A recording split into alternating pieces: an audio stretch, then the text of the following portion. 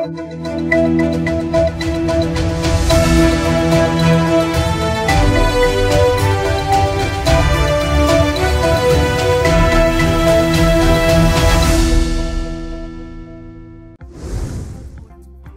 அருகே கள்ளக்காதல் உறவை தட்டி கேட்ட வாலிபர் கத்தியால் குத்தி கொலை செய்யப்பட்ட சம்பவம் பெரும் பரபரப்பை ஏற்படுத்தியுள்ளது.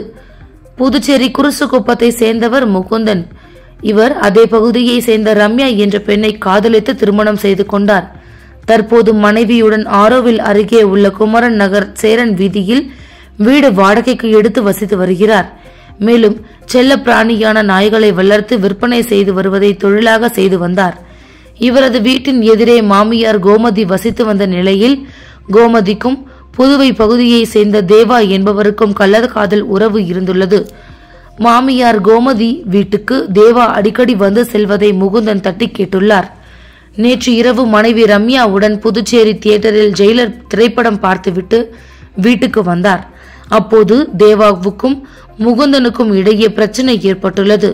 இந்நிலையில் இன்று அதிகாலை சுமார் மூன்று முப்பது மணி அளவில் முகுந்தன் வீட்டிற்கு வந்த தேவா மறைத்து வைத்திருந்த கத்தியால் அவரதை சரமாரியாக வயிறு கழுத்து பகுதியில் குத்திவிட்டு தப்பி ஓடிவிட்டார். கணவனின் அலறல் சத்தம் கேட்டு வெளியே வந்த ர- மனைவி ரம்யா கண்முன்னே சரிந்து விழுந்த முகுந்தன் சிறிது நேரத்தில் இரத்த வெள்ளத்தில் இறந்து போனார். ரம்யா கூச்சலிடவே அக்கம் பக்கத்தில் ஓடி வந்து இரத்த வெள்ளத்தில் கடந்த முகுந்தனை மீட்டு மருத்துவமனைக்கு கொண்டு சென்றனர். தகவல் அறிந்து சம்பவ இடத்திற்கு ஆரோவில் இன்ஸ்பெக்டர் கிருஷ்ணமூர்த்தி தலைமையிலான போலீசார் வந்து முகுந்தன் உடலை கைப்பற்றி பிரேத பரிசோதனைக்காக புதுவை மருத்துவமனைக்கு அனுப்பி வைத்தனர். கொலையான முகுந்தனுக்கு திருமணம் ஆகி ஐந்து ஆண்டுகள் ஆகிறது. குழந்தை இல்லை. தனது மாமியாரிடம் கள்ளக்காதல் உறவு வைத்திருந்ததை தட்டி கேட்ட முகுந்தன் கத்தியால் குத்தி கொலை செய்யப்பட்ட சம்பவம் பெரும் பரபரப்பை ஏற்படுத்தியுள்ளது. மேலும் கொலை செய்துவிட்டு தப்பி ஓடிய தேவாவை போலீசார் தீவிரமாக தேடி வருகின்றனர். ரெட்டியார்பாளையம் பகுதியில் மாணவர்களுக்கு கஞ்சா விற்ற இரண்டு வாலிபர்களை போலீசார் கைது செய்தனர். புதுவையில் கஞ்சா விற்பனையை தடுக்க போலீசார் தீவிர நடவடிக்கை எடுத்து வருகின்றனர். ஆனாலும் கஞ்சா விற்பனையை முற்றிலுமாக தடுக்க முடியவில்லை. புற்றீசல் போல ஆங்காங்கே கஞ்சா விற்பனை நடந்து வருகிறது. இந்நிலையில் ரெடியார்பாளையம் கம்பன் நகர் சந்திப்பில் மாணவர்களுக்கு கஞ்சா விற்பனை செய்யப்படுவதாக ரெடியார்பாளையம் போலீசாருக்கு தகவல் வந்தது. இதனை அடுத்து சப் இன்ஸ்பெக்டர் முருகன் தலைமையில் போலீசார் அப்பகுதியில் தீவிர கண்காணிப்பில் ஈடுபட்டனர். அப்போது அங்கு சந்தேகப்படும்படி நின்று கொண்டிருந்த இரண்டு வாலிபர்களை பிடித்து அவர்களை சோதனை செய்ததில் அவர்களது சட்டை பையில் சிறு சிறு பொட்டங்கலங்களாக கஞ்சா இருந்தது. மொத்தம் முன்னூறு கிராம் கஞ்சாவை அவர்கள் பதுக்கி வைத்திருந்தனர். விசாரணையில் அவர்கள் உழவர்கரை வயல்வெளி தெருவை சேர்ந்த லெனின் பிஷப் மற்றும் ரெடியார்பாளையம் கம்பன் நகரை சேர்ந்த ஹரிஷ் என்பதும் தெரிய வந்தது. இவர்கள் இருவரும் பள்ளி மற்றும் கல்லூரி மாணவர்களுக்கு கஞ்சாவை விற்று வந்துள்ளனர். இதனைத் தொடர்ந்து அவர்கள் இருவரையும் போலீசார் கைது செய்து கஞ்சாவை பறிமுதல் செய்தனர். ரவுடிகள் மற்றும் சட்டவிரோத செயல்களில் ஈடுபடுபவர்களுடன் தொடர்பு வைத்துள்ள காவலர்கள் மீது நடவடிக்கை எடுக்க கோரி முதல்வரிடம் வணிகர்கள் புகார் கொடுத்துள்ள சம்பவம் காவல்துறை வட்டாரத்தில் பரபரப்பை ஏற்படுத்தி உள்ளது. புதுச்சேரியில் கடந்த சில வருடங்களுக்கு முன்பு சிறையில் இருந்தபடியே ரவுடிகள் வெளியில் உள்ள கூட்டாளிகள் துணையுடன் ஒரு சில அரசியல்வாதிகளும் காவல்துறையில் உள்ள கருப்பு ஆடுகளின் ஆதரவோடு தொழிலதிபர்களை மிரட்டி பணம் பறிப்பது தொழிலதிபர்களை மிரட்டி பணம் பறிப்பது நிலம் அபகரிப்பு கொலை கொள்ளை வழிப்பறி சம்பவங்களில் ஈடுபட்டு வந்தனர். இது தற்போது முற்றிலும் குறைந்துள்ள நிலையில் காசு பார்க்க முடியாத அரசியல் கட்சியினர் மற்றும் காவல்துறையில் உள்ள கருப்பு ஆடுகள் புதிய ரவுடிகளை உருவாக்கி கல்லா கட்டி வருகின்றனர். தற்போது புதுச்சேரியில் முப்பது வயதிற்கு உட்பட்ட இளைஞர்களை கொலை கொள்ளை விபச்சாரம் வழிப்பறி மாமூல் கேட்டு மிரட்டுவது உள்ளிட்ட சட்டவிரோத செயல்களில் ஈடுபட்டு வருகின்றனர். இந்த நிலையில் புதுச்சேரியில் கடந்த இரு தினங்களுக்கு முன் ரெட்டியார்பாளையம் காவல் நிலையம் அருகே உள்ள பேக்கரி உரிமையாளரிடம் நன்கொடை கேட்டு ரவுடிகள் தாக்குதல் நடத்திய சம்பவம் புதுச்சேரியில் பரபரப்பை ஏற்படுத்தியது. இந்த சம்பவம் குறித்து வர்த்தக சபையின் தலைவர் குணசேகரன் தலைமையில் நிர்வாகிகள் முதல்வர் ரங்கசாமி மற்றும் டிஜிபி ஸ்ரீனிவாசை நேரில் சந்தித்து புகார் மனு அளித்தனர்.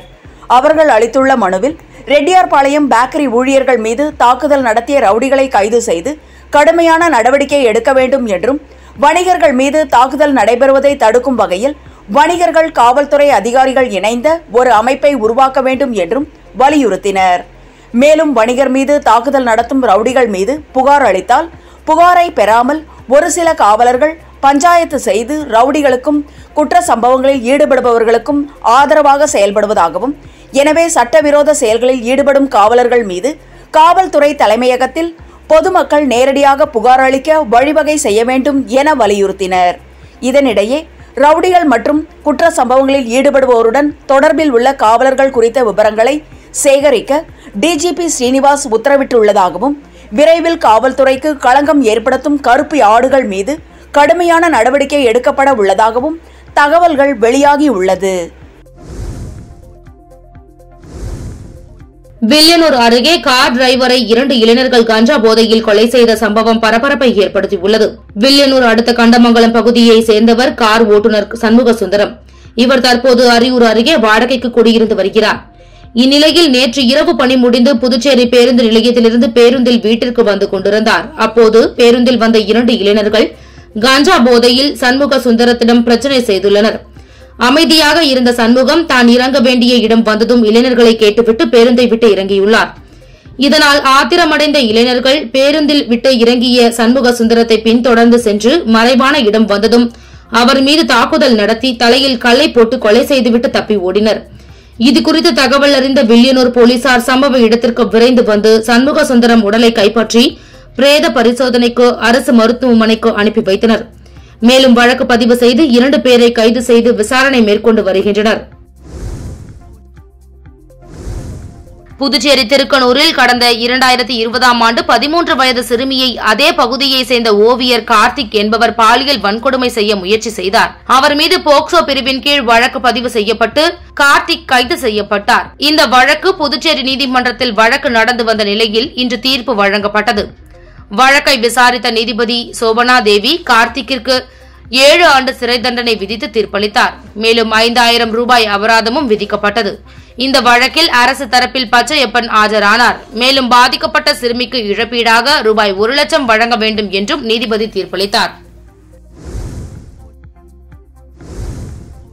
கடலூர் அருகே புதுச்சேரி ரவுடி மர்ம நபர்களால் வெட்டி கொலை செய்யப்பட்ட சம்பவம் பரபரப்பை ஏற்படுத்தியுள்ளது.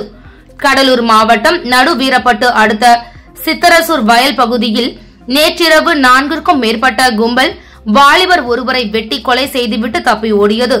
தகவல் அறிந்த பன்ருட்டி டிஎஸ்பி சபியுல்லா நெல்லிக்குப்பம் இன்ஸ்பெக்டர் சீனிவாசன் மற்றும் போலீசார் சம்பவ இடத்திற்கு விரைந்து சென்று சடலத்தை மீட்டு பிரேத பரிசோதனைக்காக கடலூர் அரசு மருத்துவமனைக்கு அனுப்பி வைத்தனர். விசாரணையில் கொலை செய்யப்பட்டவர் புதுச்சேரி முருங்கம்பாக்கத்தை சேர்ந்த முகிலன் என்பதும் புதுச்சேரி ரவுடி மர்டர் மணிகண்டனின் கூட்டாளி என்பதும் தெரிந்தது. முகிலன் கொலை செய்யப்பட்டதற்கான காரணம் குறித்து போலீசார் விசாரிக்கின்றனர். தப்பி ஓடிய கொலை கும்பலை நெல்லிக்குப்பம் போலீசார் தேடி வருகின்றனர். இறந்தவர் புதுச்சேரியை சேர்ந்தவர் என்பதால் புதுச்சேரி ரவுடிகள் கொலை செய்திருக்கலாம் என்ற கோணத்திலும் விசாரிக்கின்றனர். வில்லியனூர் அருகே நடந்த கார் டிரைவர் கொலை வழக்கில் இரண்டு வாலிபர்களை போலீசார் கைது செய்தனர். வில்லியனூர் அடுத்த கண்டமங்கலம் பகுதியை சேர்ந்தவர் கார் டிரைவர் சண்முக சுந்தரம். இவர் தற்போது அரியூர் அருகே வாடகைக்கு குடியிருந்து வருகிறார். இந்நிலையில் நேற்று முன்தினம் இரவு பணி முடிந்து புதுச்சேரி பேருந்து நிலையத்திலிருந்து பேருந்தில் வீட்டிற்கு வந்து கொண்டிருந்தார். அப்போது பேருந்தில் வந்த இரண்டு இளைஞர்கள் கஞ்சா போதையில் சண்முக சுந்தரத்திடம் பிரச்சனை செய்துள்ளனர். அமைதியாக இருந்த சண்முகம் தான் இறங்க வேண்டிய இடம் வந்ததும் இளைஞர்களை கேட்டுவிட்டு பேருந்தை விட்டு இறங்கியுள்ளார். இதனால் ஆத்திரமடைந்த இளைஞர்கள் பேருந்தில் இருந்து இறங்கி சண்முக சுந்தரத்தை பின்தொடர்ந்து சென்று மறைவான இடம் வந்ததும் அவர் மீது தாக்குதல் நடத்தி தலையில் கல்லை போட்டு கொலை செய்துவிட்டு தப்பி ஓடினர்.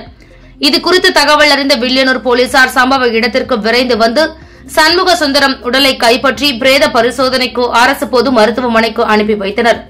மேலும் வழக்கு பதிவு செய்து இரண்டு பேரை கைது செய்து விசாரணை மேற்கொண்டு வந்தனர். விசாரணையில் ஓட்டுநரை கொலை செய்தது கண்டமங்கலத்தை சேர்ந்த விக்னேஷ் என்பதும் ஆரியபாளையம் பகுதியை சேர்ந்த உதயகுமார் என்பதும் தெரிய வந்தது. இதனை அடுத்து இரண்டு பேரையும் கைது செய்த போலீசார் நீதிமன்றத்தில் ஆஜர்படுத்தி மத்திய சிறையில் அடைத்தனர். மரக்காணம் அருகே பத்தாம் வகுப்பு படிக்கும் மாணவியிடம் பாலியல் சீண்டல் செய்த முதியவர் போக்சோ வழக்கில் போலீசார் கைது செய்தனர். விழுப்புரம் மாவட்டம் மரக்காணம் அடுத்த கந்தாடு பகுதியில் வசிப்பவர் பத்தாம் வகுப்பு படிக்கும் மாணவி. இவரின் வீட்டு அருகே உள்ள முதியவர் கோதாண்டராமன் வயது எழுபது. இவர் தனது வீட்டிற்கு அடிக்கடி சமைப்பதற்காகவும் வீட்டு வேலைக்கு அழைத்து செல்வதாக கூறப்படுகிறது. இந்நிலையில் அடிக்கடி முதியவர் அச்சிறுமியிடம் பாலியல் சீண்டலில் ஈடுபட்டதாக கூறப்படுகிறது. இந்த விவகாரம் பற்றி பயந்து அந்த சிறுமி பெற்றோரிடம் கூறாமல் இருந்து வந்தது. இந்நிலையில் நேற்று இரவு முன்தினம் அந்த முதியவர் மீண்டும் அச்சிறுமியிடம் பாலியல் சீண்டலில் ஈடுபட்டதாக கூறப்படுகிறது. இது குறித்து சிறுமி பெற்றோரிடம் கூறவே அச்சிறுமியின் பெற்றோர் கோட்டக்குப்பம் அனைத்து மகளிர் காவல் நிலையத்தில் புகார் அளித்ததன் பேரில் போலீசார் வழக்கு பதிவு செய்து அந்த முதியவரை போக்சோ சட்டத்தில் கைது செய்து சிறையில் அடைத்தனர். புதுச்சேரியில் செல்போன் திருடனை முட்டி போட வைத்து பொதுமக்கள் தர்ம அடி கொடுத்த வீடியோ வைரலாகி வருகிறது. அசாம் மாநிலத்தை சேர்ந்தவர் பிருந்தால் மண்டல். இவர் புதுச்சேரி சேதராப்பட்டில் வீடு வாடகை எடுத்து தங்கி அதே பகுதியில் உள்ள தனியார் தொழிற்சாலையில் பணிபுரிந்து வருகிறார். இந்நிலையில் பிருந்தால் மண்டல் நேற்று கதவை திறந்துவிட்டு தூங்கிக் கொண்டிருந்த போது ஒரு மர்ம நபர் பிருந்தால் மண்டலின் செல்போனை திருட முயன்றார். சத்தம் கேட்டு கண் விழித்த பிருந்தால் மண்டல் இதை பார்த்து திடுக்கிட்டு கூச்சலிட்டார். உடனே அக்கம் பக்கத்தினர் அங்கு வந்து திரண்டு செல்போன் திருட முயன்ற நபரை மடக்கி பிடித்தனர். பின்னர் அந்த நபரை முட்டி போட வைத்து தர்ம அடி கொடுத்தனர்.